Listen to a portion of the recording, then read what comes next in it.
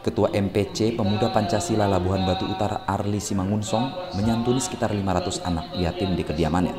Kegiatan sosial yang merupakan agenda tahunan itu juga dihadiri oleh Ketua MPWPP Sumatera Utara Kodrat Sah dengan didampingi oleh sejumlah jajarannya. Kegiatan santunan yang tidak diawali dengan kata sambutan itu, sebelum berbuka Ustadz Ali Imran Napitupulu mengawalinya dengan kegiatan kuis bagi ratusan anak yatim yang hadir. Berbagai pertanyaan diajukan oleh pimpinan Pondok Pesantren dan Zawiyah Arkanudin, Pulau Dogom, Kecamatan Kuala Hulu itu. Pertanyaan yang dilontarkan terkait dengan masalah puasa, surat-surat pendek Al-Quran, dan pengetahuan sederhana tentang agama Islam.